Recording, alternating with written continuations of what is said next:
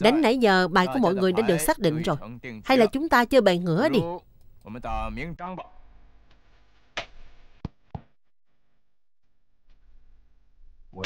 Cơ hội của tôi là nhỏ nhất Nhưng trước giờ vận may của tôi tốt lắm. Xem ra cơ hội của tôi cũng cao lắm.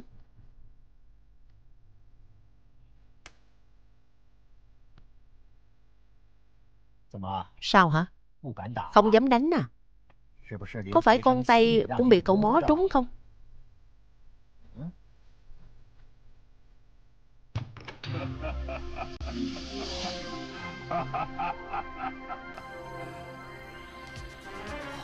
Ba Dán bài lớn như vậy Sao mà thiếu tôi được chứ?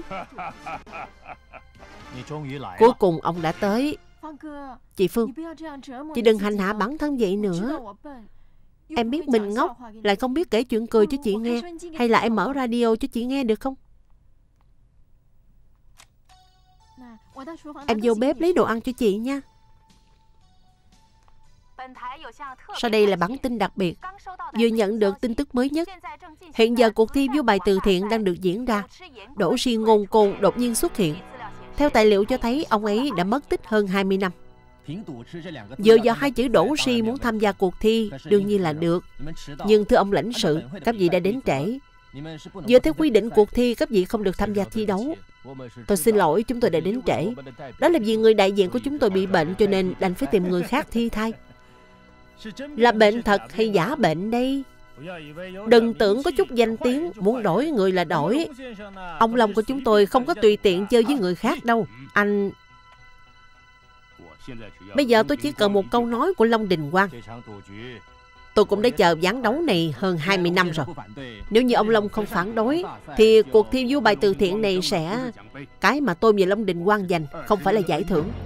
Chúng tôi đã đấu ân oán hơn 20 năm qua. Bạn già, Ở đây đông người quá. Hay là chúng ta hãy tới nơi khác đi. Ba, Con nghĩ Gián đấu đã được bắt đầu rồi. Các vị thính giả, Hiện giờ vua bài Long Định Quang đã đồng ý đấu với ngôn côn một trận sinh tử. Chúng ta cùng chờ xem ai thắng. Chị Phương Chị Phương, Em xin chị đừng cắt nữa. Chị Phương à em sợ lắm. Đừng mà chị Phương, Chị đừng làm vậy. Buông chị ra, Buông chị ra. Em tưởng là chị đang làm gì. Chị chẳng qua là muốn cắt tóc thôi mà. Chị Phương Sao chị muốn cắt tóc chứ? Chị không muốn ra ngoài gặp ai sao? Anh Phi đi mất rồi. Anh Phi đi mất rồi. Anh Phi.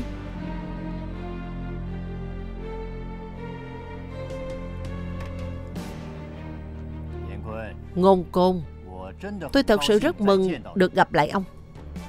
20 năm qua Tôi không tìm được đối thủ thực sự. Ông có biết tôi cô đơn như thế nào không? Tôi chỉ muốn biết 20 năm qua là ma thuật của ông giỏi hơn Hay là kỹ thuật của tôi luyện giỏi hơn ông? 20 năm qua ông không thay đổi chút nào. Đừng nói nhiều. Bắt đầu đi. Được.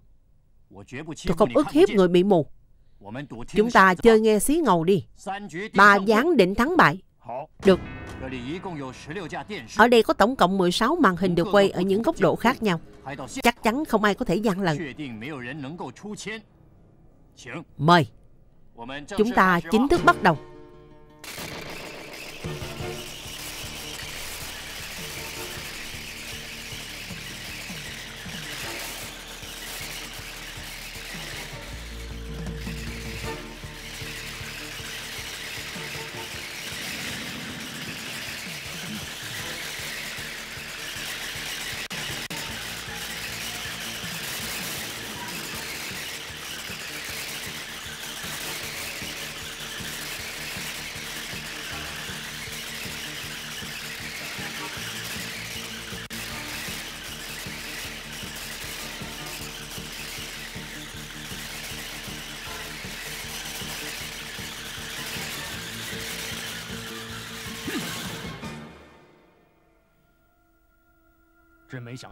Thật không ngờ 20 năm không gặp.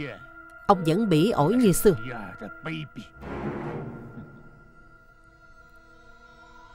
Khác chứ. Ông đã lạc hậu. Hôm nay ông đã thua cho khoa học kỹ thuật. Mấy nút điểm. Lần trước đấu với ông vào ngày 6 tháng 11. 116 đi.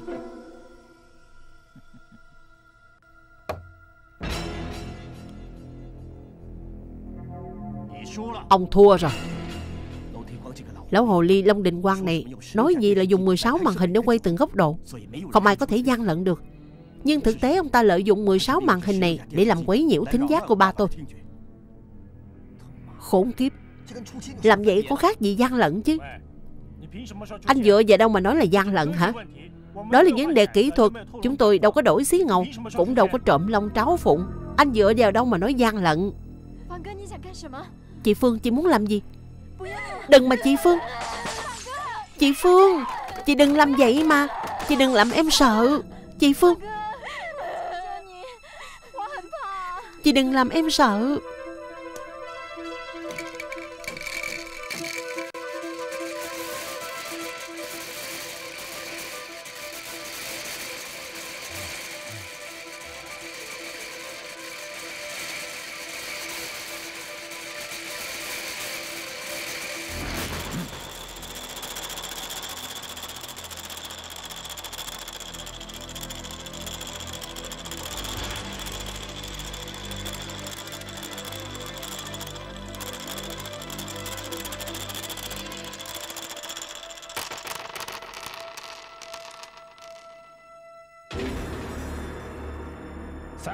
Ba con sáu, 18 nút. Không ngờ ông cũng có chiêu này.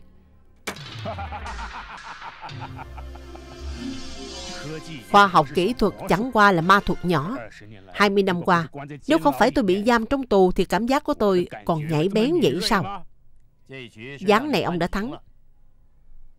Tôi không cần biết ông có thính giác hay cảm giác gì.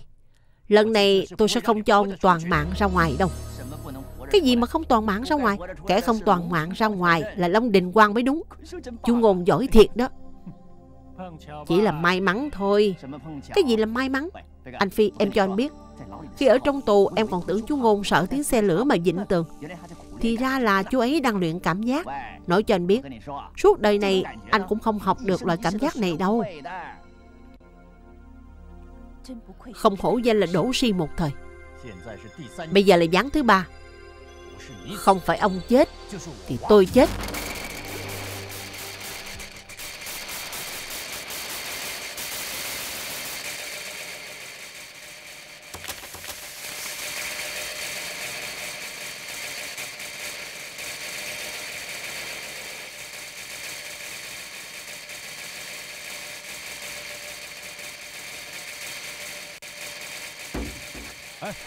Cô không được vô đó. Chị Phương, tóc chị sao vậy? Chị không được vô đó, chú Côn đang chiếm ưu thế đó. Anh Phi, chúng ta phải cản họ lại. Gián đấu đã bắt đầu. Không còn gì để nói nữa. Anh nhất định phải cản họ lại. Bây giờ chỉ đành chờ xem ai sống mà bước ra.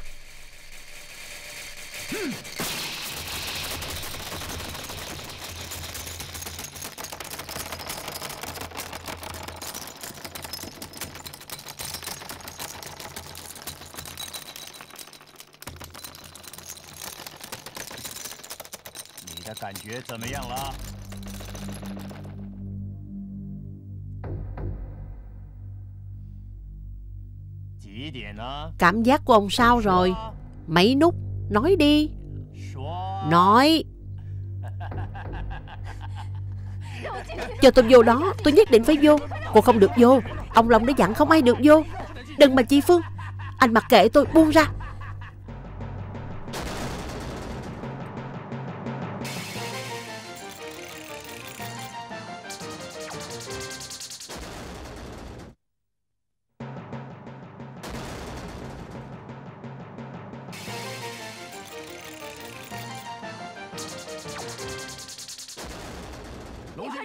Cô không được vô. Ông Long đã dặn không ai được vô. Đừng mà chị Phương, Anh mặc kệ, buông tôi ra. Chị Phương. Hay để tôi nói cho ông biết.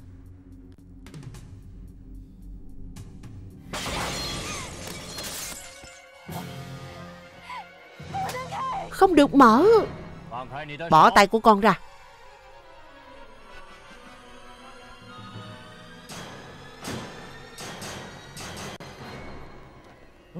Ông Long Kiệt. Đưa nó ra ngoài. Tôi không ra ngoài. Song bài này là ba tôi tặng cho tôi. Tất cả ra ngoài. Cô là con gái của Long Đình Quang. Phải. Tôi tên Long Gia Gia. Phi. Ba, chúng ta đi.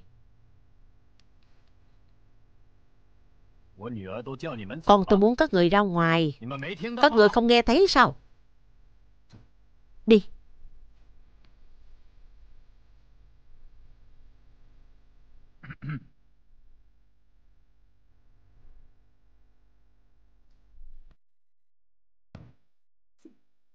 Cảm ơn.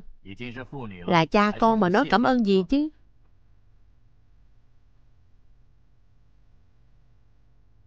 Dạ dạ. Bên ngoài đông người lắm. Tôi thấy ông vẫn gọi tôi là Kỳ Phương thì tốt hơn.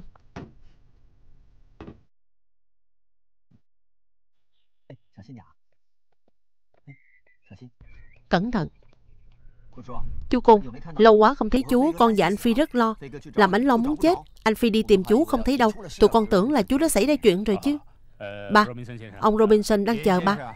Ông Robinson, ông Ngôn thành thật xin lỗi. Là thuộc hạ của tôi quá lỗ mãn mới gây ra sự hiểu lầm. Lần này ông Robinson ra mặt, tôi nghĩ Long Định Quang sẽ không dám làm gì chúng tôi nữa. Đây chỉ là chuyện nhỏ, coi như là chút thành ý của tôi dành cho ông Ngôn. Cảm ơn ông. Các vị theo tôi. Thì ra 20 năm qua chú ở trong tù nằm gai nếm mật. Phải rồi, phải rồi. Dán vừa rồi xí ngầu mấy nút vậy? Ông Robinson, tôi có chút chuyện muốn nói riêng với ông. Mời vào trong.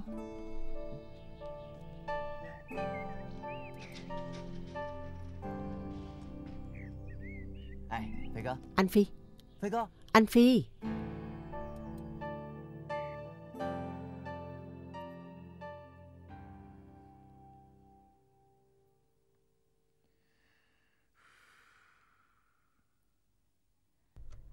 Vẫn còn nghĩ đến chuyện hôm nay à? Cổ đã chịu nhận anh là cha trước mặt mọi người rồi. Anh hãy nhượng bộ, chủ động đi tìm cổ đi. Dù là anh chịu nhượng bộ, thì cũng không thể nào bù đắp được những gì anh đã nợ nó hơn 20 năm qua.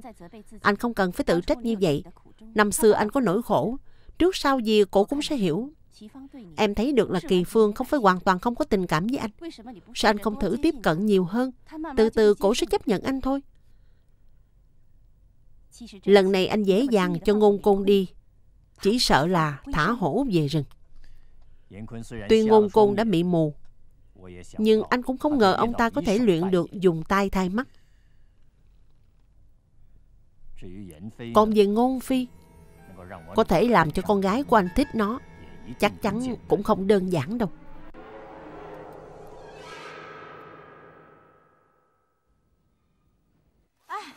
Nặng quá. Số quần áo này phải bỏ đi rồi Chị ba Quần áo này mua cả ngàn đồng Sao lãng phí quá vậy? Cả ngàn đồng thì đáng gì chứ? Em coi mấy đôi giày này Đôi nào cũng bốn năm trăm đồng. Cái cũ không đi, cái mới làm sao tới? Nói đúng lắm. Dù sao chúng ta cũng sắp dọn nhà rồi Còn giữ quần áo cũ lại làm gì chứ? Phương, còn có biết tủ quần áo trong căn nhà mới của chúng ta lớn bằng cái phòng khách này không? Hôm đó thuộc hạ của Long Đình Quang đưa tôi chị đi coi nhà mới. Phòng ngủ ở đó còn lớn hơn phòng khách của chúng ta nữa đó. Có quá đáng vậy không? Nói tới nói lui cũng là nhờ phước của Kỳ Phương thôi. Không ngờ Lạc Thiệu Tường cuối cùng Cũng có ngày tiến thân. Muốn dọn thì mọi người dọn đi Còn ở lại. Con điên rồi hả? Con không dọn thì ba làm sao dọn? Phương à Phương. Nó nói thiệt hả? Con cá với bà bịch bánh này, Lần này chị Phương làm thiệt đó. Để bà vô nói chuyện với nó. Khoan khoan, Để con nói chuyện với chị con à, trước giờ con và Kỳ Phương hình như đâu có hợp. Dù sao tụi con cũng là chị em mà. Hai chị em thân thế nào cũng đâu thân bằng hai cha con. Ý bà nói là cha con nuôi mới đúng. Phương đâu có hiểu gì bà lắm. Bà nghĩ coi, giữa ba và con, ai ăn nói khéo hơn? Là con có đúng không? Thân cũng vô ích thôi. Quan trọng nhất là khéo ăn khéo nói. Có đúng không?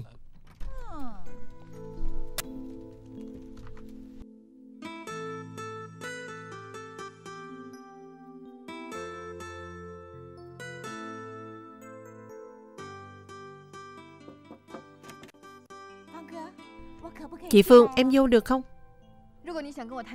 Nếu muốn nói chuyện dọn nhà với chị thì miễn bàn. Em biết trước giờ em cho người ta ấn tượng là em tham tiền. Nhưng mà bây giờ em chỉ muốn bình tâm tịnh khí nói chuyện với chị.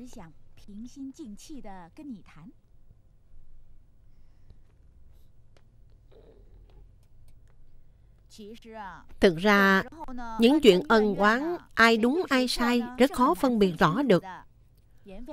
Ngôn Phi nói ảnh đúng, ba chị cũng nói ổng đúng. Thật ra là ai đúng đây? Ai cũng không thể biết, chị nói có đúng không? Cho nên, ai đúng ai sai không quan trọng. Quan trọng nhất là chị có yêu anh Phi không? Chị có yêu anh Phi không? Yêu thì sao chứ? Không thể nào đến với nhau. Em thấy nếu chị yêu anh Phi thì chị nên ở chung với ba chị. Nếu không ông ấy sẽ hận anh Phi cả đời đó. Chị nghĩ coi. Nếu ông ấy biết chị không chịu nhận ông là ba vì chị yêu anh Phi thì chị nghĩ hậu quả sẽ thế nào?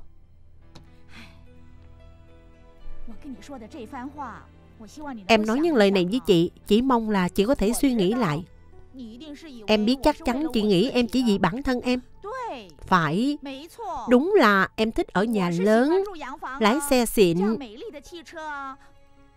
Nhưng em cũng chỉ vì anh Phi thôi. Bởi vì anh đã từng dạy em thuật chơi bài. Chị nghĩ có đúng không?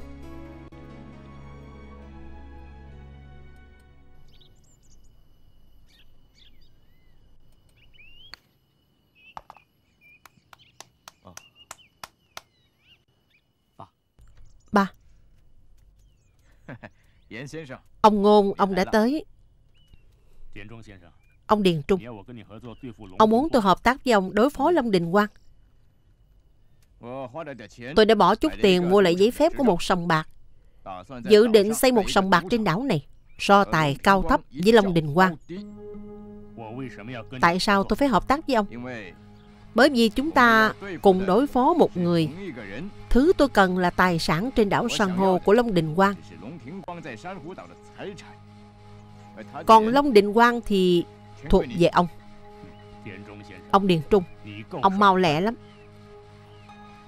Ông Điền Trung, chúng tôi muốn về suy nghĩ lại chuyện này.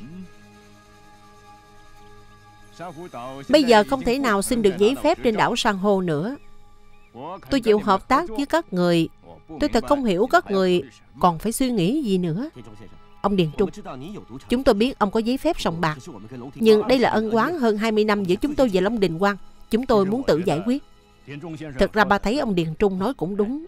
Ba, chúc chúng ta hợp tác vui vẻ. Tôi biết ông là người mau lẹ, hợp tác vui vẻ.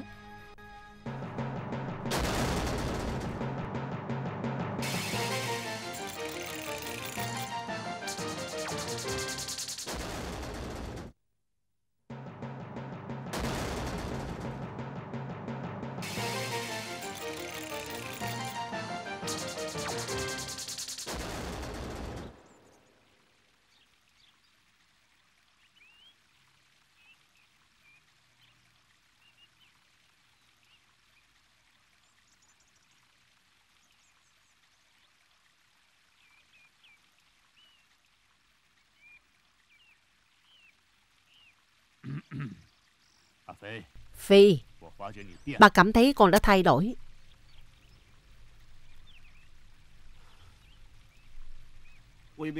Con đâu có nói là không muốn trả thù. Vậy bây giờ con có dám thề với trời là con đang nghĩ tới việc trả thù hay là đang nghĩ tới con gái của Long Đình Quang không? Bà, Kỳ Phương vô tội, bà biết. Bà biết Kỳ Phương là cô gái tốt. Tuy cổ là con gái của Long Đình Quang, nhưng cổ đã không bắn đứng bà. Nếu không thì Long Đình Quang đã cho người xuống ống cống giết bà từ lâu rồi.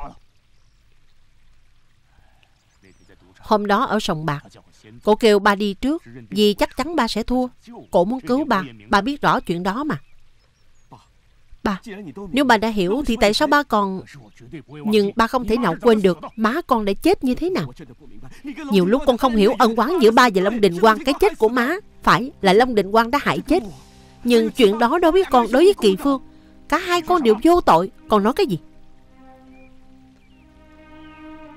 Ba, Hôm đó ba không thấy bộ dạng của Kỳ Phương như thế nào. Cổ là con gái, Nhưng đã tự cắt tóc của mình tới nỗi không thể gặp mặt ai. Tại sao chứ? Đó là vì cổ tự ép bản thân Không được tới xem trận đấu. Cổ đã vì con Mà chuyện gì cũng dám làm. Cổ không chịu nhận Lâm Đình Quang làm cha. Hướng Nam cho con biết hiện giờ Cổ vẫn còn ở nhà họ Lạc. Chúng ta đừng trả thù nữa. Chúng ta tha cho Kỳ Phương đi. Được không? Đừng để cổ khó xử như vậy có được không? Im miệng. Bà để con nói hết. 20 năm qua con không hề nghĩ tới chuyện trả thù. Con không hiểu tại sao. Thậm chí bây giờ con không biết mình là ai nữa. Con không còn là ngôn phi trước đây. Trước đây con sống cuộc sống bình thường rất vui vẻ. Tuy một ngày làm mấy công việc nhưng con vẫn rất vui. Sau đó con quyết định phải trả thù. Con cũng không hiểu tại sao.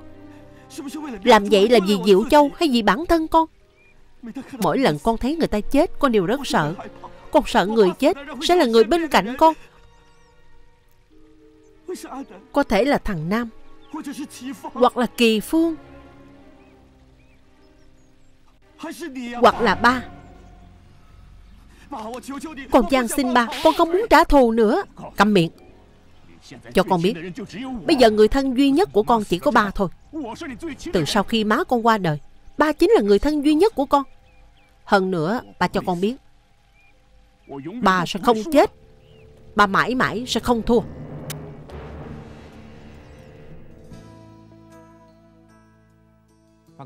Chị Phương, Nếu không còn chuyện gì nữa, em về trước. Được Cậu về đi.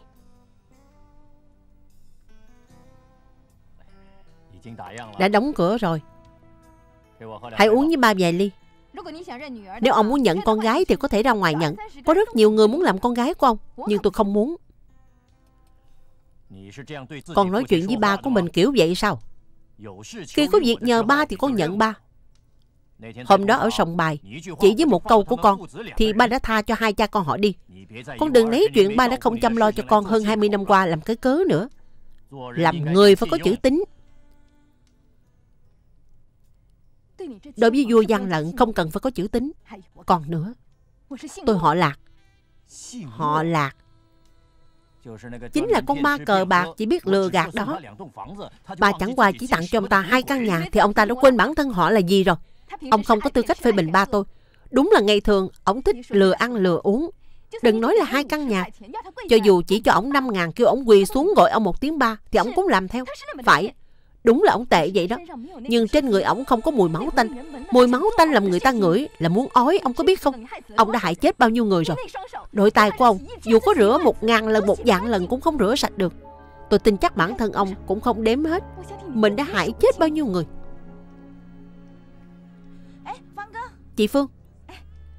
Ông Long cũng ở đây à? Đến thăm chị Phương phải không? Chị Phương à Chị làm vậy là không đúng rồi. Ba tới thăm chị. Sao chị làm mặt lạnh như vậy anh Phi, anh Phi.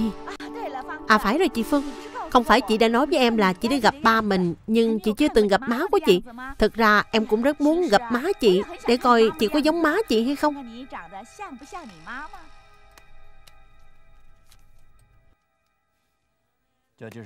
Đây chính là má của con.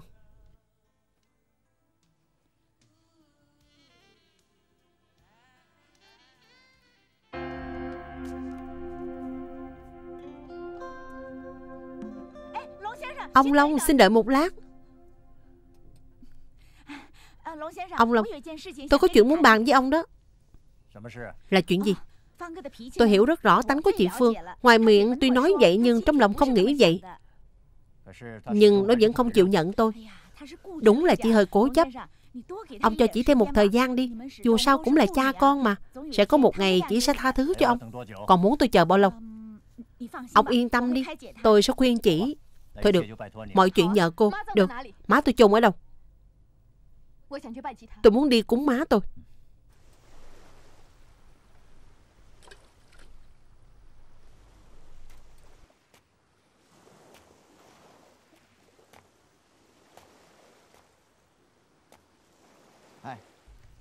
Anh Phi, anh đang nhớ chị Phương à? Nhận đại đi. Nếu anh nhớ cổ thì cứ gọi điện cho cổ. Nè Nè, đừng suy nghĩ nhiều nữa.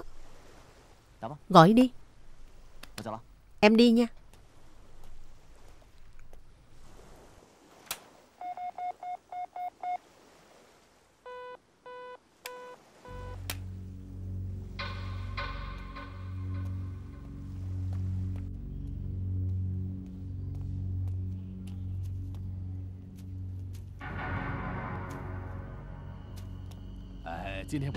Nếu tối nay về hơi trễ thì không cần về đây. Cứ trò chuyện với ba của con đi.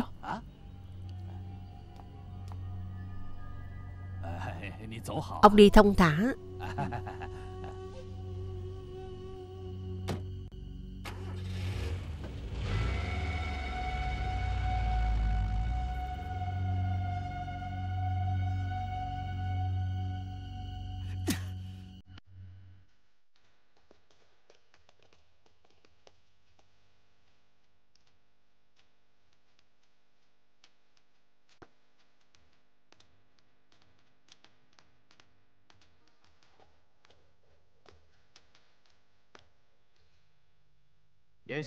Ông Ngôn. Chào ông.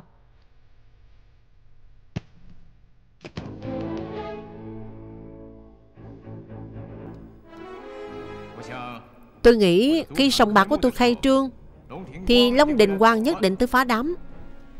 Tôi chuẩn bị số vũ khí này Để đề phòng bất trắc. Ông Điền Trung Ông suy nghĩ cũng thật chu đáo Không dám. Đây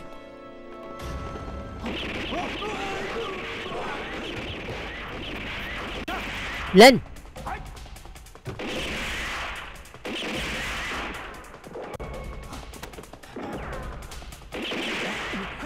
Chạy mau, Nhanh lên.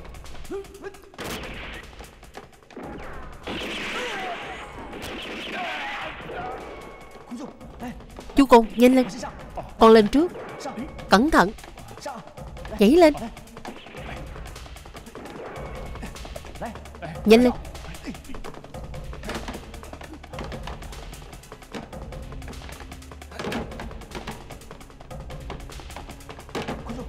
Ngồi lên đi. Cẩn thận.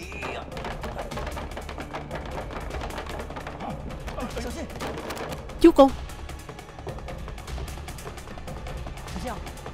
Mau ngồi xuống.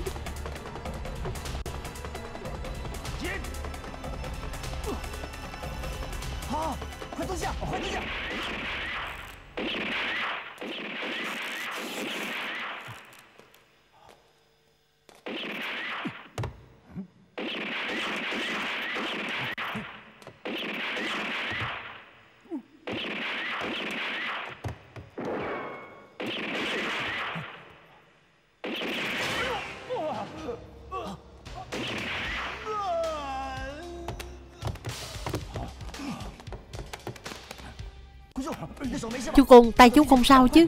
Chú núp vô đi.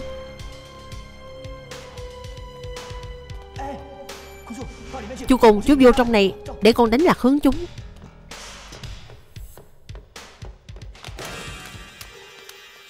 Muốn chạy hả?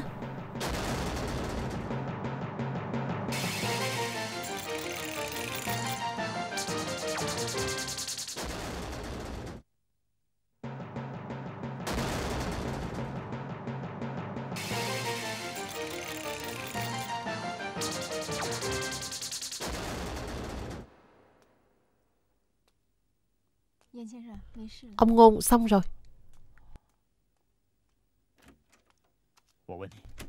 Bà hỏi con Khi sự việc xảy ra con đang ở đâu? Con không nói bà cũng biết. Con đi gặp Kỳ Phương, Muốn cùng cổ cao bay xa chạy, Không lo chuyện ân quán gì nữa, có đúng không? Thôi được, Bây giờ con có thể đi. Bà Con đã nói bao nhiêu lần rồi, Con không muốn trả thù. Con có biết không Hướng Nam Việt cứu ba Mà bị Thái Hải Kiệt bắt đi Nó còn tốt hơn con Ông Ngôn Bà Robinson Ông Robinson hiện giờ thế nào? Chồng tôi không may mắn bằng ông. Trước đây ông ấy đã nợ các người rất nhiều. Lần này mất cả mạng. Tôi nghĩ chắc nợ gì cũng trả xong hết rồi, bà Robinson.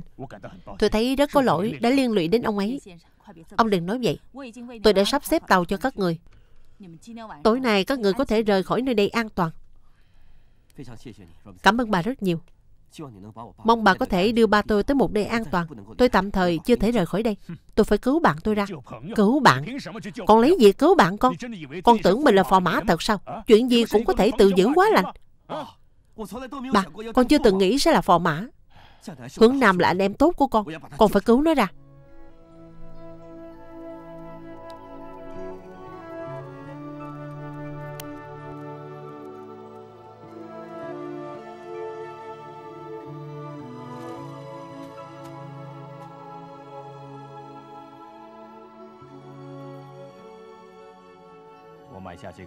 Ba mua hòn đảo này.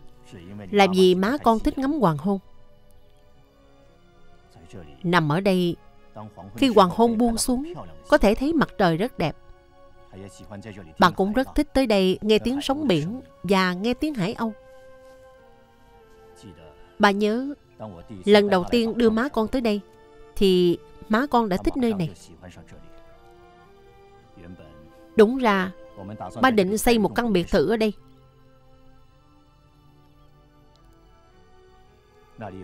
Đằng kia có một căn nhà nhỏ. Lúc trước ba thường tới đây cùng má con. Nhất là khi ba có chuyện nghĩ không thông. Đến đây ở vài hôm là thấy trong lòng dễ chịu hơn.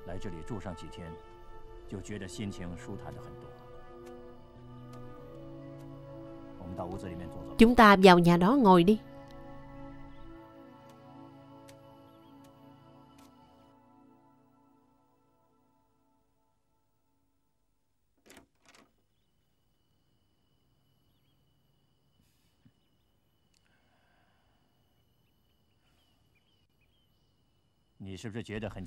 Chắc con thấy rất lạ. Một người giàu có như ba, sao lại ở một căn nhà đơn sơ như vậy? Tôi nghĩ sẽ không có ai tin Long Đình Quang đã từng ở đây. Bởi họ chỉ thấy mặt giàu có của ba. Thực ra khi má con còn trẻ, cũng cỡ bằng tuổi con bây giờ, nhà của ba má cũng không khác gì chỗ này. Nhiều khi trời mưa nóc nhà còn bị dột nữa. Không phải ông đã giỏi chơi bài ngay từ đầu sao? Ba không phải vừa mới sinh ra là giỏi chơi bài. Cuộc sống ép buộc ba phải như vậy. Nói ra có lẽ con không tin. Công việc đầu tiên của ba là dạy học đó. Ông từng dạy học. Ba dạy học. Ba dạy học trò đạo lý làm người. Nhưng trái lại, bị học trò chê cười. Nói là thầy giáo nghèo như ba, nghèo tới nỗi cái quần cũng bị rách. Sau đó ba mới biết, con người muốn thành công, muốn làm giàu, nhất định phải dựa vào bản thân. Cuối cùng ba đã lãnh ngộ được. Cho nên ba dựa vào bản thân biến những chuyện không thể thành có thể. Bây giờ ba không chỉ là chủ của 10 sông bạc, mà còn là một trong 10 người giàu nhất thế giới nữa. Bởi vì ba tin một câu nói, con người có thể thắng trời. Vậy sao? Phải. Con người có thể thắng trời. Nhưng trước khi má con qua đời, lại tin vào lời của một ông thầy bói. Thầy bói đó kêu ba phải rời xa con. Cả đời má con chưa từng cầu xin ba chuyện gì. Nhưng trước khi qua đời, chỉ xin ba chuyện đó. Ba có thể từ chối sao? Ba mong con đừng trách má con. Ba nói cho con biết chuyện này không phải là muốn đổ hết trách nhiệm cho má con. Ba biết 20 năm qua con sống rất vất vả. Nhất là sự xuất hiện của ba càng làm con thêm phiền.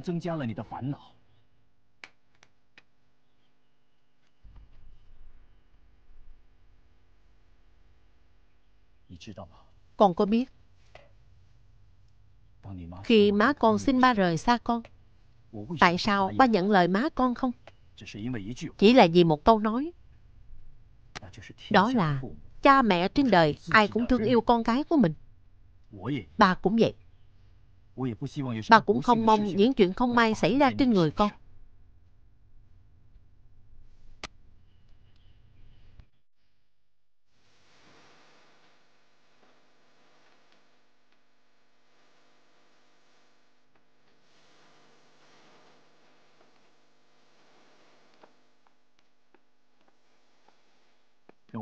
Con theo ba về nhà ngồi chơi. Ba sẽ lấy hình của các anh con cho con coi. Còn có hình con hồi nhỏ chụp chung với má và ba. Lúc đó con còn rất nhỏ, rất dễ thương. Định Quang, có chuyện gì? Sòng bạc có chút chuyện.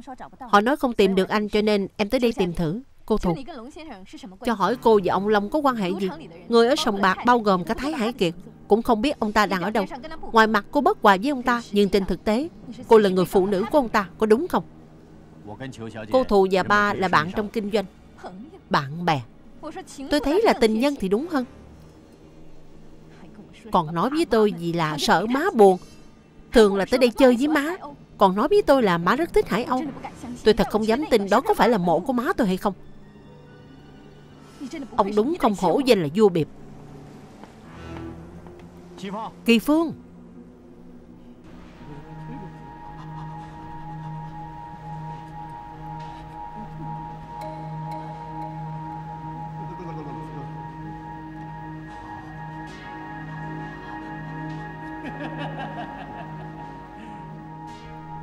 Sao hả?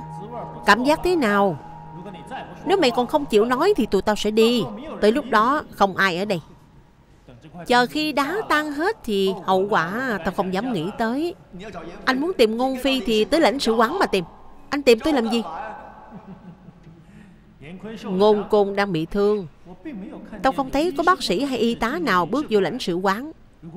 Nếu tao đoán không sai thì có lẽ hắn đang trốn ở chỗ khác. Còn chuyện trốn ở đâu thì phải hỏi mày rồi.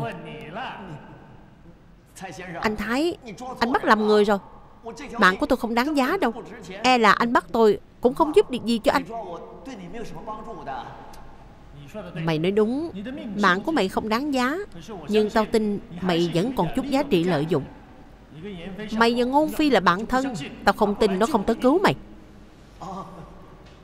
Vậy thì anh lầm rồi. Tôi và Ngôn Phi chỉ là bạn thông thường thôi. Sau khi tôi ra tù, Không có việc làm, Nên thỉnh thoảng làm phụ ảnh thôi. Ảnh sẽ không tới cứu tôi đâu. Vậy thì mày chỉ đành phó mặt cho trời thôi. Anh thả tôi ra đi. Mày không chịu nói ngôn phi đang ở đâu. Mày không chịu thừa nhận mày và nó là bạn thân. Tao còn nhớ có một hôm, Hình như có hai người mặc áo màu đỏ rất oai phong Bước vào sông bạc mà.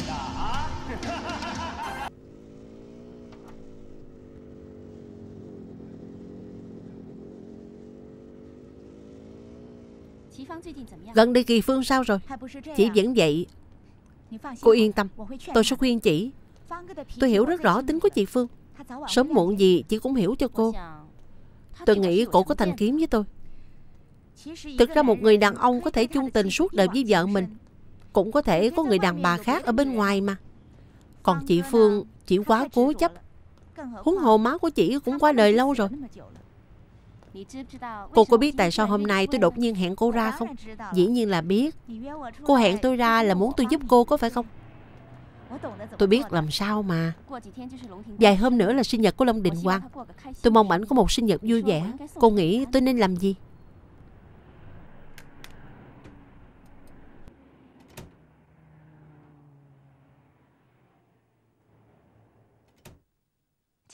Mời ông đi cho Chúng tôi đã đóng cửa rồi.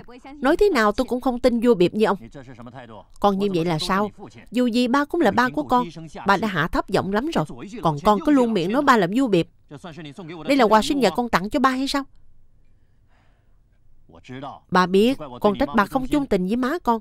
Thực ra, Ba không thật lòng yêu thù Hoài Phong. Vậy sao? Cô ta ngoài mặt trông có vẻ là đối đầu với ông. Nhưng cô ta biết hành tung của ông với lòng bàn tay. Thực ra chuyện này là thế nào? Ông không thật lòng với cổ. Mà cổ quan tâm ông như vậy, Đừng tưởng ông đánh giá cổ không đáng đồng nào Thì có thể lấy được lòng tôi. Đây là sự thật. Ba và cổ chỉ là chơi qua đường. Ba có được cổ là bản lãnh của Long Đình Quang này. Không cần biết con có tin hay không. Lúc trước cổ đối đầu với ba, Bây giờ đã trở thành con chim trong lòng của Long Đình Quang. Ngay cả Hải Kiệt cũng không dám tin. Tôi cũng không tin. Cổ là người con hiếu thảo và đã từng đánh gián sinh tử với ông. Bởi vì ba đoán chắc cổ sẽ thay ba cổ đánh gián đó với ba, Cho nên ba cố tình nhường em trai của cổ đã vô tình giúp ba một tay. Hải Kiệt cũng không tin, cho nên ba đã đánh cược với nó. Kết cuộc nó đã thua. Trên đời này chỉ có một người phụ nữ đáng cho ba thương nhớ, đó chính là má con. Chỉ có má con mới làm ba ở trước mộ bà ấy ba ngày ba đêm. Má con là người phụ nữ ba thương yêu nhất, cũng là người phụ nữ đáng cho ba tôn trọng. Vậy con Thu Hoài Phong? Cổ chẳng qua chỉ là một trong số phụ nữ dây xung quanh ba thôi. Bởi vì cổ và ba không có quan hệ huyết thống. Còn con thì khác. Con và ba mang cùng một dòng máu. Con mang họ Long.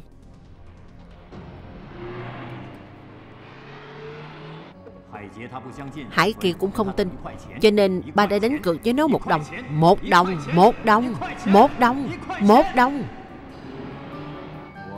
Ba và cổ chỉ là chơi qua đường. Ba có được cổ là bản lãnh của Long Đình Quang này. Không cần biết con có tin ba hay không. Lúc trước cổ đối đầu với ba, Bây giờ đã trở thành con chim trong lòng của Long Đình Quang. Trên đời này, Chỉ có một người phụ nữ đáng cho ba thương nhớ, Đó chính là má của con. Vậy con Thu Hoài Phong. Cổ chẳng qua chỉ là một trong số phụ nữ Về xung quanh ba thôi.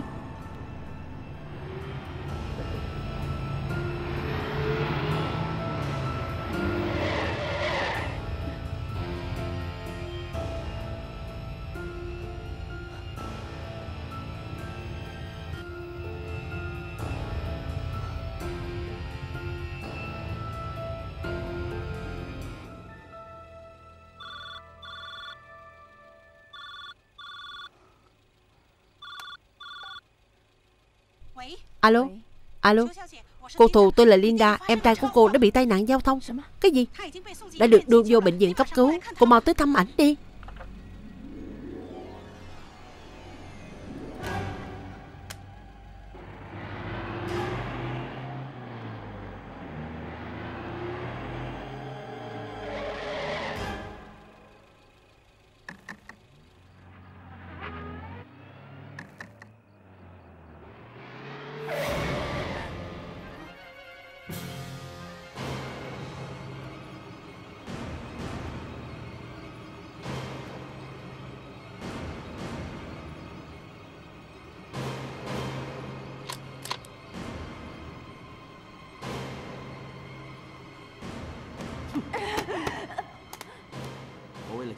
Tôi muốn cứu hướng Nam, Nhưng lại không nghĩ ra cách nào. Đành phải để cô chịu thiệt. Anh muốn đem tôi trao đổi với Long Đình Quang. Tôi sẽ không làm hại cô. Tốt nhất là cô hãy hợp tác với tôi. Tôi đảm bảo cô sẽ không sao. Anh hãy cho tôi gọi điện thoại. Em trai tôi đang gặp tai nạn giao thông. Tôi muốn biết hiện giờ nó ra sao. Coi như tôi xin anh.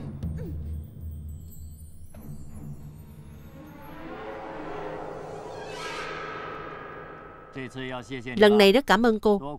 Mai nhờ có cô giúp nên tối qua tôi xem như là đã cùng Kỳ Phương trải qua một đêm sinh nhật vui vẻ. Ông không cần phải cảm ơn tôi. Thật ra chị Phương nhận lại ông đều là vì ông thật lòng tốt với chị. Nếu không dù tôi có nói khô cả họng, chị cũng không chịu. Ông cũng biết tính của chị Phương mà. Ngồi đi. Ông Long, tôi đã tung tin ra ngoài rồi. Tôi không tin Ngôn Phi biết hướng nằm trong tay tôi thì sẽ quanh tay đứng nhìn. Tới lúc đó, hắn sẽ tự xa lưới. Tôi tin là cô sẽ không nói chuyện này cho Kỳ Phương biết. Không đâu ông Long, không đâu. Cô và Hà Hướng Nam có thân không? Chúng tôi cũng thân lắm. Chúng tôi là bạn mà.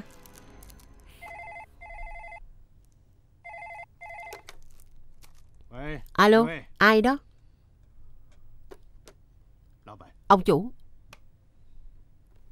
Alo, tôi là Ngôn Phi. Tôi nghĩ ông đang chờ điện thoại của tôi. Tôi có thể nói cho ông biết, tôi đang ở đâu. Ông có thể cho người tới bắt tôi, Nhưng tôi cho ông biết. Ông tìm thấy tôi thì đồng thời cũng tiện thể dọn xác của thù Hoài Phong luôn đi. Cậu nói cái gì? Alo?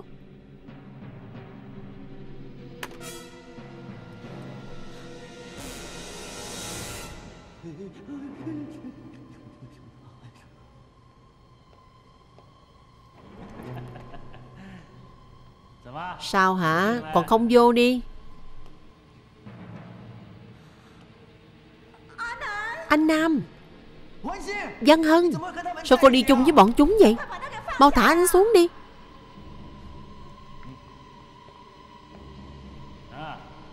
Tôi giao hắn cho cô. Cô hãy cố gắng khuyên hắn khai tung tích của cha con ngôn cung ra. Anh Nam Anh không sao chứ. Mau tháo sợi dây ra. Mau leo xuống, Cẩn thận. Cô không cần khuyên tôi. Tôi không bắn đứng anh Phi đâu. Dù có giết chết tôi Tôi cũng không nói.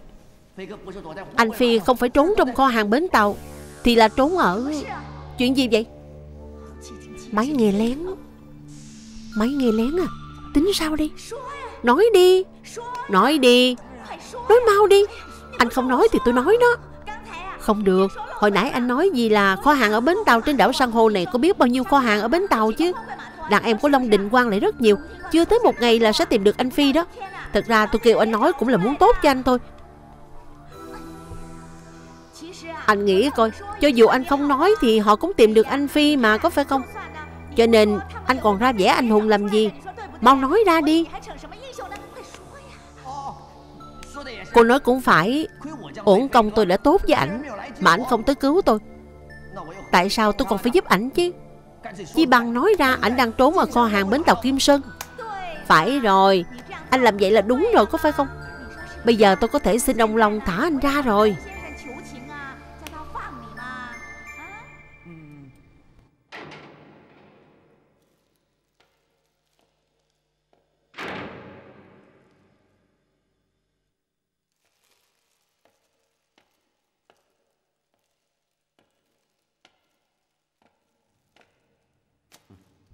Ăn cơm đi.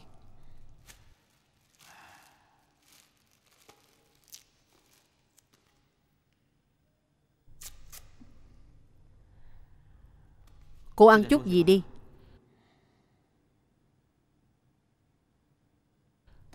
Tôi đã báo cho Long Đình Quang biết địa điểm đón người rồi Nhưng tới lúc đó tôi sẽ không dẫn cô đi. Anh định làm gì? Chờ sau khi tôi cứu được hướng Nam Thì mới cho ông ta biết cô đang ở đâu. Cô ăn chút đi Em trai cô bị tai nạn thật à? Cho tôi biết số điện thoại của ảnh đi.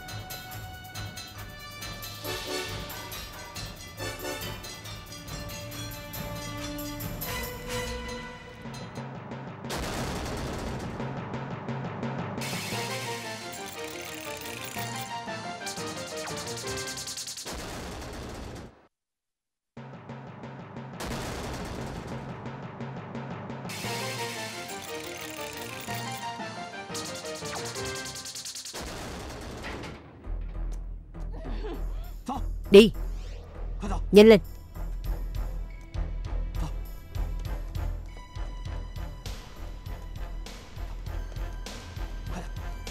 Nhanh lên.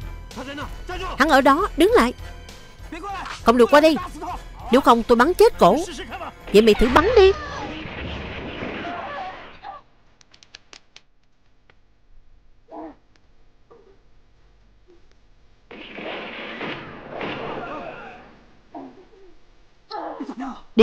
đi nhanh lên.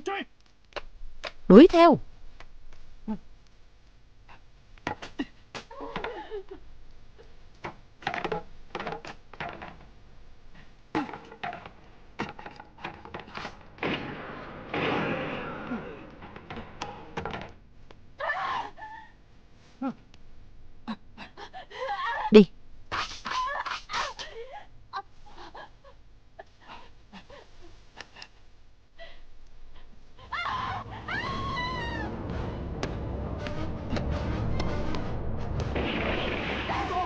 Chạy mau Đưa tay cho tôi. Cầm xuống.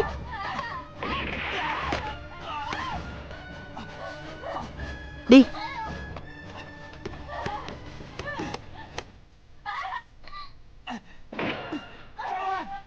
Lên đây. Đuổi theo, đừng để hắn thoát.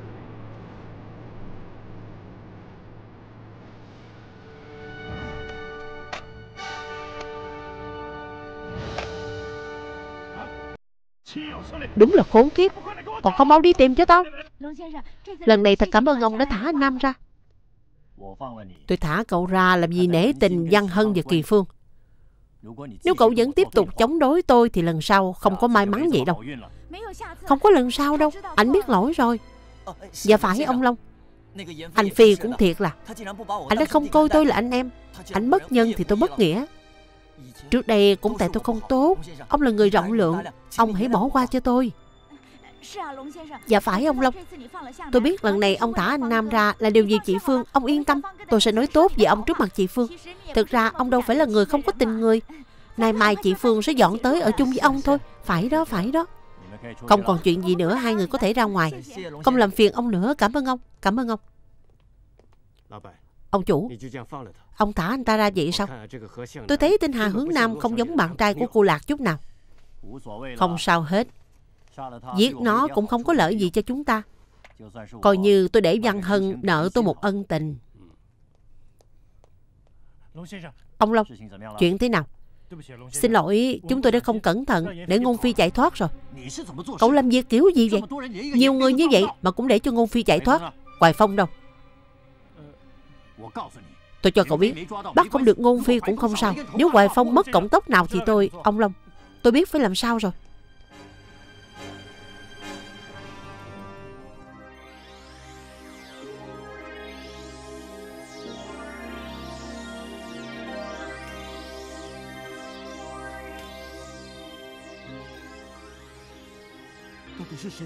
Thực ra ai đã bắn đứng tôi? Là ai bắn đứng tôi? Nhất định là Hà Hướng Nam bạn của anh đó. Không đâu. Cô đừng nói bậy. Hướng Nam sẽ không bắn đứng tôi. Ngoài cậu ta ra, còn ai biết chỗ của anh? Nhất định là cô. Là cô bắn đứng tôi.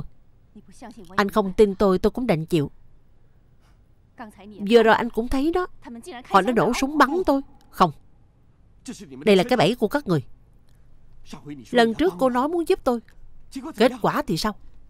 Cô là người tình của Long Đình Quang Tôi không phải. Tôi không phải người tình của hắn. Tôi chỉ đáng giá một đồng. Hắn và Thái Hải Kiệt đánh cược bằng một đồng.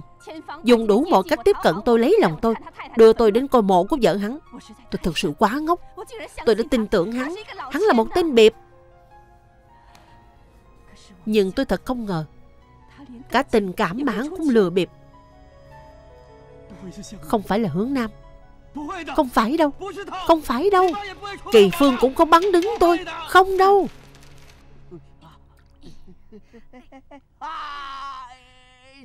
Nhẹ thôi.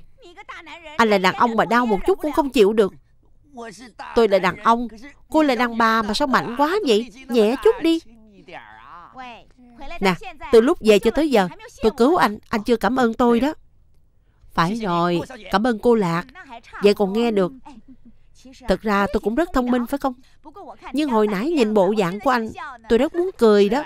Phải rồi phải rồi, Cô rất tài giỏi. Cũng may là tôi phát hiện có máy nghe lén, Nên tôi mới không mắc bẫy. Nhưng tôi nghĩ anh Phi chắc không có gì đâu. Nếu ảnh có chuyện thì báo ra đưa tin rồi. Cô nói hay quá. Người này là Long Đình Quang, Làm việc không để lại dấu vết. Đừng nói là cái xác. Cho dù là sợi tóc cũng không để cho cô nhìn thấy đâu. Bây giờ hy vọng duy nhất là anh Phi không phải đang trốn ở bến tàu Mà đang trốn trong ngôi nhà quan nào đó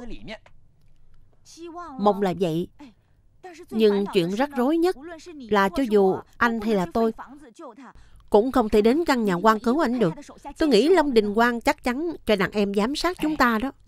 Có rồi. Nhờ chị Phương về khuyên ba của chị tha cho anh Phi. Không được đâu, không được đâu. Tại sao không được? Anh cũng biết tánh của chị Phương rất nóng nảy. Hơn nữa, quan hệ với chị và Long Đình Quang chỉ mới khá hơn một chút thôi. Nếu chúng ta nói với chị, thì nhất định chị sẽ đi tìm Long Đình Quang nói lý lẽ. Vậy thì đối với anh Phi sẽ không có lợi. Cô nói cũng phải. Có phải cô sợ mất tài lộc của mình không?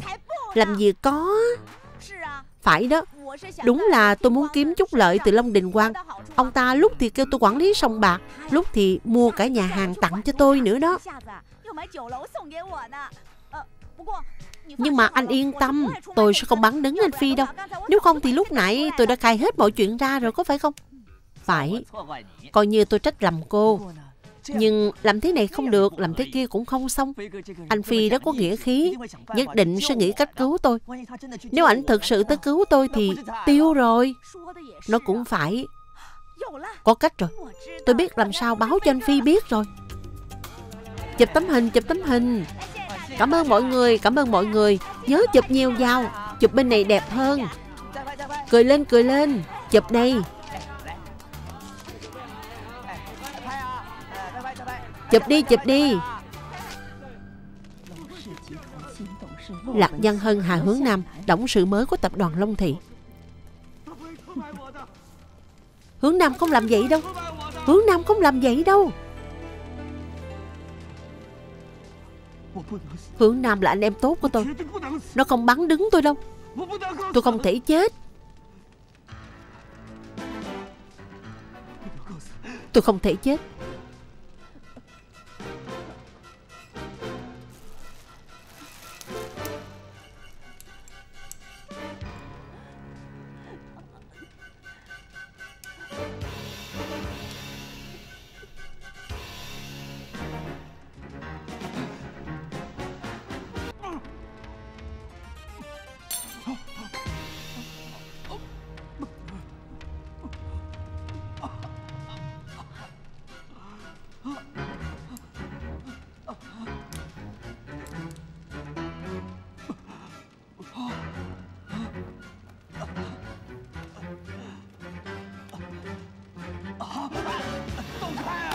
Tránh ra.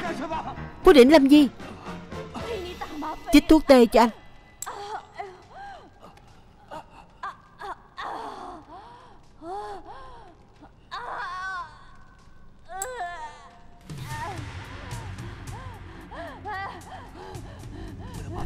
Cô ráng chịu đau. Tôi phải lấy đầu đạn ra.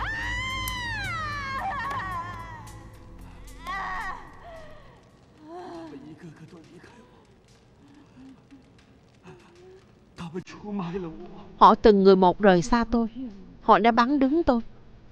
Anh sẽ không gạt tôi. Tôi hy vọng đó là những lời anh bịa ra đi gạt con gái anh. Diệu Châu ham mê hư dinh đã rời xa tôi. Kỳ Phương cổ bỏ tôi. Tại sao họ ai cũng rời xa tôi? Anh nói là đấu với ba tôi. Anh nhường tôi. Tất cả đều là thật thì ra tôi chỉ đáng giá một đồng. Tôi chỉ đáng giá một đồng thôi. Kỳ Phương. Kỳ Phương. Kỳ Phương. Anh Phi. Em rất cô đơn. Em rất sợ. Anh đừng rời xa em. Kỳ Phương. Kỳ Phương. Anh Phi. Kỳ Phương. Em đừng rời xa anh. Kỳ Phương. Đừng rời xa anh. Kỳ Phương.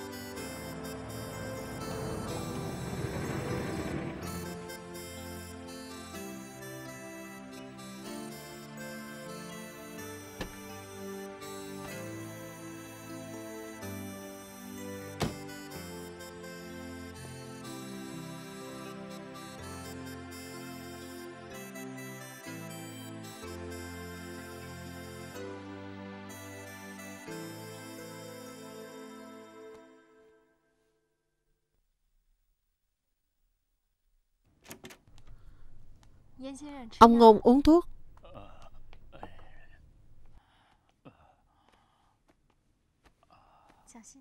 Cẩn thận. Cảm ơn cô.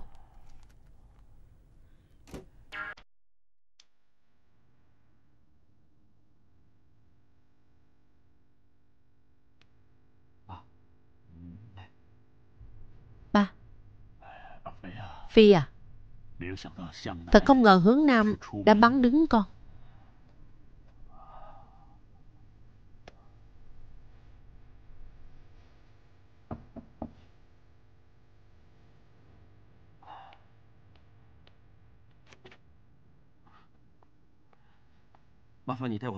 Phiền bà đưa ba tôi tới một nơi an toàn.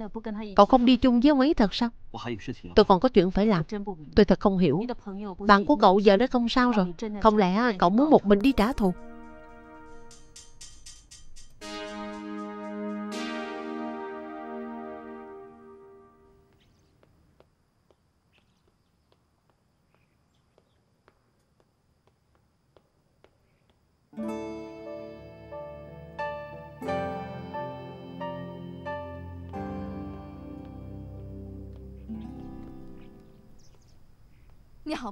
khỏe không? Rất khỏe. Rất vui. Anh vẫn còn tin tưởng em. Anh biết em sẽ không bắn đứng anh. Giang Hân và Hướng Nam có thể làm vậy. Nhưng anh tuyệt đối tin em không làm vậy. Em không ngờ Hướng Nam lại làm vậy. Nhưng anh đã bắn đứng em. Anh hẹn em tới. Là muốn dụ ba của em ra. Anh nói gì vậy? Anh tin là chưa tới 10 phút nữa họ nhất định sẽ đến. Anh biết em tuyệt đối không bắn đứng anh Long Đình Quang sẽ cho người theo dõi em. Mỗi một giây một phút Ông ta đều cho người theo dõi em. Anh nghĩ chú Tường hoặc Giang Hân Đều sẽ bắn đứng anh Không đâu. Anh không làm vậy. Anh muốn đánh lạc hướng họ Để chú Côn có thể rời khỏi đây phải không? Em có thể giúp anh. Chúng ta cùng đi. Anh đã sắp xếp cho ba anh đi rồi. Anh hẹn em ra đây là muốn phân tán sự chú ý của Long Đình Quang Để ba anh có thể an toàn rời khỏi đây.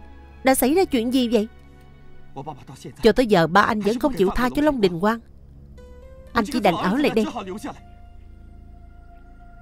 Phải. Lúc trước anh muốn bỏ trốn theo em Nhưng kết quả thế nào? Kết quả là liên lụy ba anh bị thương. Anh đã sai một lần. Tuyệt đối không thể sai lần thứ hai. Nhưng cũng không nhất thiết phải giải quyết bằng súng đạn. Ba em rất thương em. Em có thể kêu ông ta bồi thường. Bồi thường Em kêu ba em làm cho má anh sống lại đi. Anh biết cả đời này Anh không thể thắng được ông ta. Anh chỉ đành có lỗi với em thôi. Đừng tới gần. Anh làm gì vậy? Anh đừng như vậy có được không? Chúng ta hãy rời xa ân quán ở nơi đây Chúng ta hãy rời khỏi nơi đây. Đi. Phải đi đâu bây giờ? Huống hồ em đã nhận lại ba của em. Em không có Em không có nhận lại ba. Em đừng tự lừa dối mình nữa. Em là con gái của Long Đình Quang còn anh là con trai của ngôn cô Điều này đã được định sẵn rồi. Chúng ta không thể nào đến với nhau. Anh tin là họ sắp tới rồi. Anh Phi, Em mặc kệ.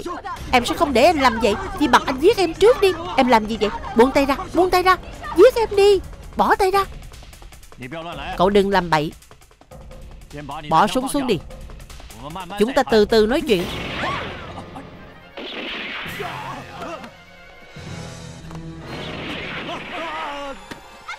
Anh Phi, chờ em với. Không được bắn, không được bắn. Đuổi theo. Đừng bắn đừng bắn.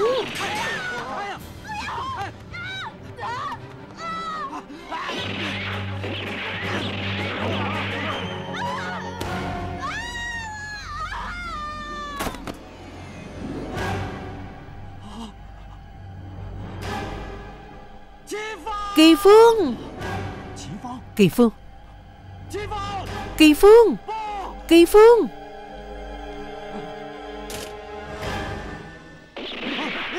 Nằm xuống Kỳ Phương. Nằm xuống. Kỳ Phương.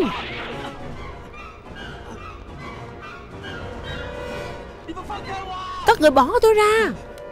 Bà, Kỳ Phương té từ trên lầu xuống Cổ đang rất nguy hiểm. Chạy đi.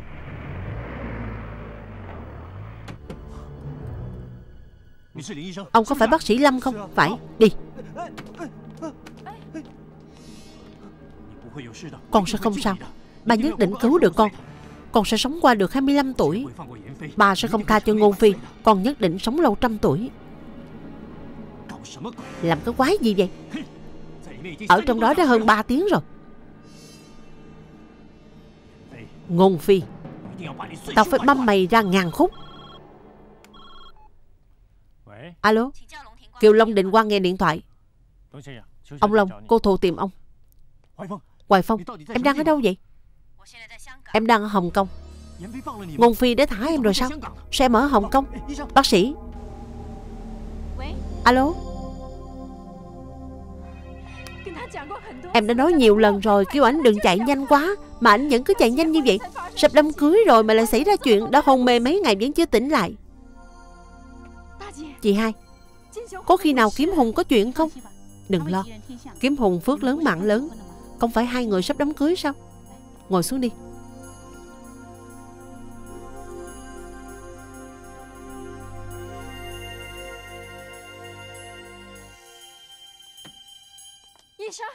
Bác sĩ, ảnh sao rồi? Xin lỗi, chúng tôi đã cố gắng hết sức. Kiếm Hùng, Kiếm Hùng.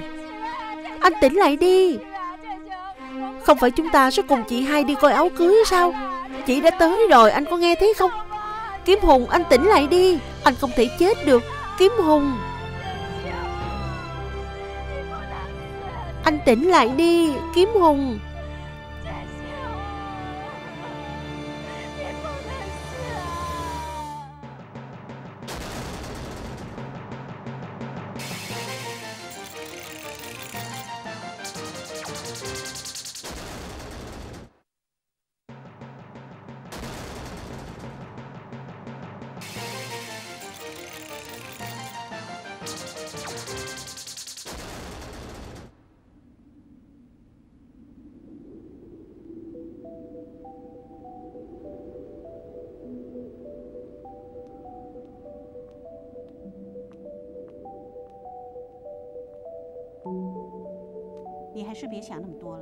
Cô đừng suy nghĩ nhiều quá. Ngoài này rất lạnh. Cô vào trong đi.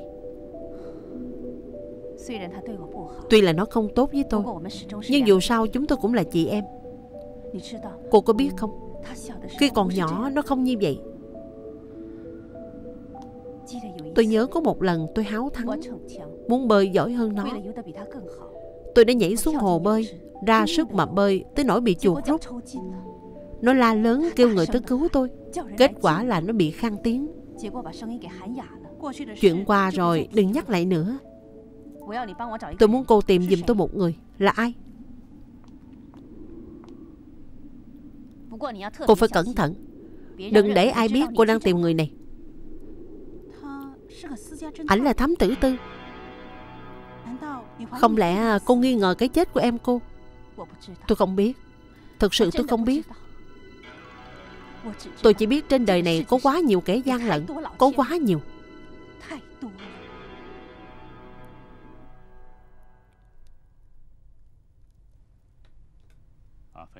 Phi à Con ở lại đây rất nguy hiểm. Long Đình Quang đã treo giá 10 triệu Để bắt cha con chúng ta. Nếu chúng ta còn không đi Thì sẽ bị người ta bắn đứng Ba cho con biết Hiện giờ Kỳ Phương ra sao? Cổ té từ trên cao xuống Con rất lo cho cổ. Bà biết con rất lo cho cổ. Nhưng con có từng nghĩ Cho dù cổ có chuyện gì Thì con cũng không giúp được gì. Cho nên bà thấy tốt nhất là con hãy rời khỏi đây.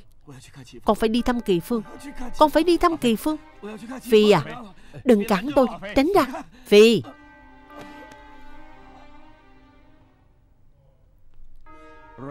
Bà Robinson Ông Ngôn Chúng ta có thể đi được rồi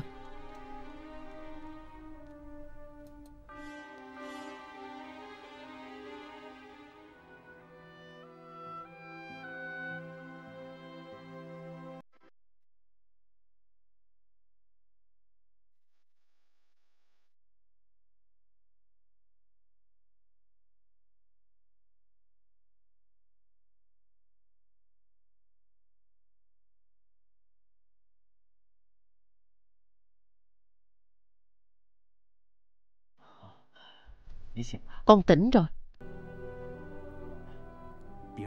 Con đừng cử động. Con vừa mới làm phẫu thuật, Bác sĩ nói con không được cử động. Ngôn Phi, Ảnh sao rồi? Có phải ông đã giết ảnh không?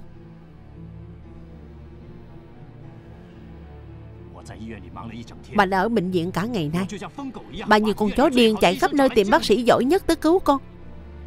Khi con tỉnh lại, Thì chỉ biết lo cho người đã hại con ra nông nổi này.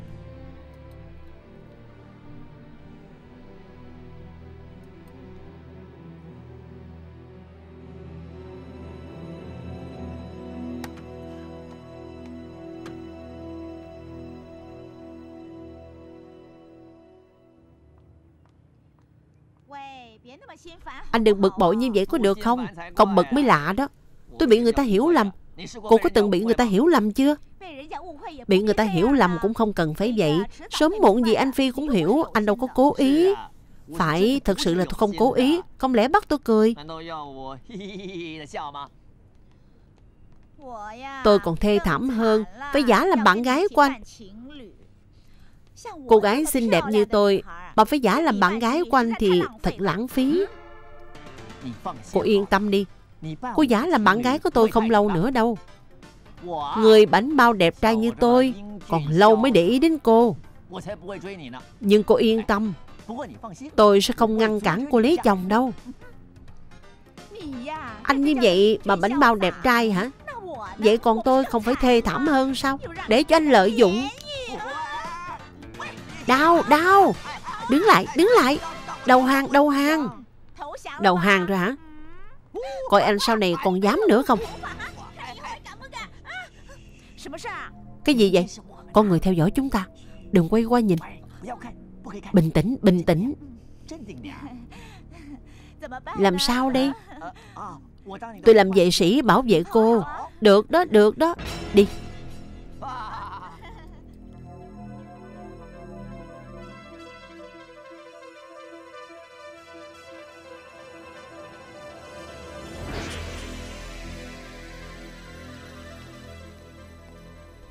Có động tĩnh gì không? Có một chiếc xe vô đó đã nửa tiếng rồi. Không biết là ai nên nó gọi anh tới. Chính là chiếc đó. Ngôn Phi chắc chắn ở trong xe. Chặn lại đi. Đây là lãnh sự quán. Robinson đã chết rồi. Vợ của ông ta mà sợ gì chứ? Lên. Đứng yên. Xuống xe. Anh Thái, Anh không nhận ra tôi sao? Ông William Rồi chỉa súng về tôi? Tôi nghĩ là có chút hiểu lầm. Anh Thái, Không phải anh tới bắt cóc chúng tôi chứ? Xin lỗi ông William. Bởi vì ông Long và lãnh sự nhiệm kỳ trước có sự hiểu lầm cho nên Ông Long mà, tôi đang có chuyện muốn bàn với ông ấy này Anh ấy hẹn ông ấy giùm tôi. Được, tôi biết rồi. Tối nay ông William đã nói với tôi là chính phủ không hài lòng với việc gần đây trên đảo San Hô xảy ra nhiều cuộc đọ súng. Ông nói chuyện đó sẽ ảnh hưởng tới hình tượng của sòng bạc. Sau này không ai dám tới đây đánh bài nữa. Nếu không tại cha con ngôn côn thì đâu có xảy ra nhiều chuyện như vậy. Ý của chính phủ là chuyện trên bàn cược Thì tốt nhất phải giải quyết trên bàn cược Cố gắng giảm bớt đọ súng không ngờ lãnh sự mới quen thân với ông William như vậy. Sau này chúng ta muốn làm việc càng phiền phức hơn. Cũng không thể nói vậy được. Ông William đã nói nhiều lời tốt giùm tôi trước mặt chính phủ. Tôi cũng tán thành mọi chuyện nên giải quyết trên bàn đấu. Cậu nói có phải không? Ông Long, tìm tôi có chuyện gì? Có chuyện này muốn giao cho hai người giải quyết. Tôi đã soạn xong kế hoạch này rồi. Hai người cứ làm theo chỉ dẫn trong máy vi tính. Dạ ông Long. Ông Long, Vi tính gì? Kế hoạch gì? Vi tính mà anh cũng không biết. Cũng khó trách anh là lính mới mà. Ông Long rất thích kêu mọi người làm việc Theo chỉ dẫn trong máy vi tính đó. Anh biết tôi không rành mà. Anh giải thích cho tôi nghe đi.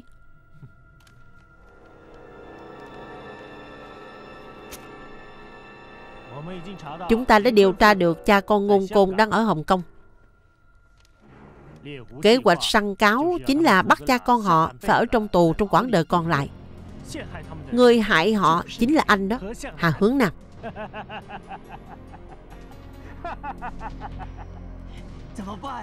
Tính sao đi?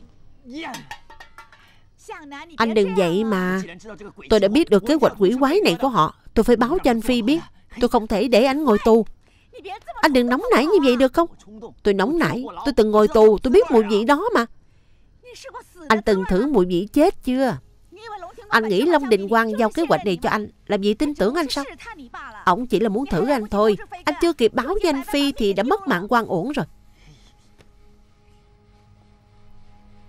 Hướng Nam, Tôi biết anh muốn cứu anh Phi, Nhưng anh nghĩ kỹ lại coi. Ngay cái chị Phương cũng không làm được gì. Huống chi là chúng ta. Phải rồi. Nhân lúc Long Đình Quang còn chưa nghi ngờ cô Cô hãy đi báo cho anh Phi biết đi. Tôi à Tôi đâu có dạy gì đi chết quan uổng như vậy. Không được đâu. Văn Hân tôi xin cô đó. Tốt nhất chúng ta về nhà nghĩ cách đi. Không đi thì thôi. Nè Hướng Nam Chúng ta từ từ nghĩ cách đi. Chỉ cần là không cần chết Chuyện gì tôi cũng bằng lòng